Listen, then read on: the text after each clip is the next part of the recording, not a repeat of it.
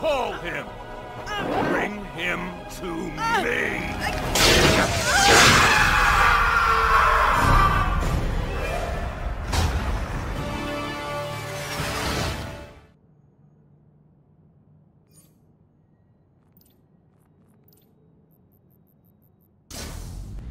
Bruh. Nope. Five minutes later.